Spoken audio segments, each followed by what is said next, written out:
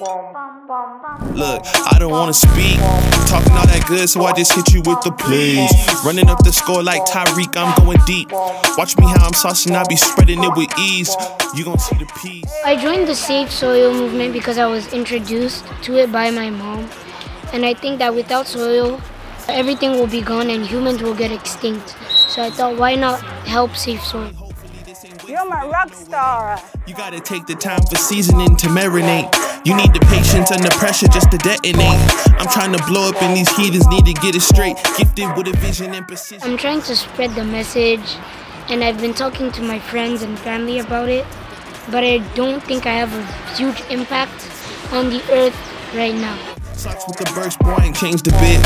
Normal guy till I die, you know what it is. You probably thought I'd give up now that I got some kids. There's some things that we won't be able to change I don't wanna talk.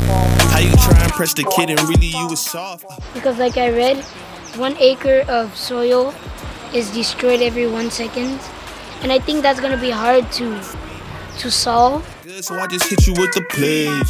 So maybe the situation could get better, but not hundred percent what we what we want to happen. Hey, please be on the notice, these my motives. What I have to say to the children of the world, save soil because without soil, there's no food, no animals, which means no pets. Humans lose a lot of stuff in general. So I really think we should save soil. With an amateur, I'm ramming. The competition they ain't standing up. They fanning from left to right, cause now they branded us.